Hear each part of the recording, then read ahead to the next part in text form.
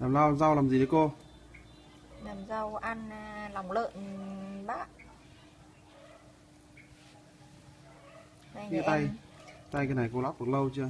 nay nhà em có con lợn rừng tay này em lóc được à, một tuần rồi Một tuần mà hoạt động tốt thích hết. nhỉ?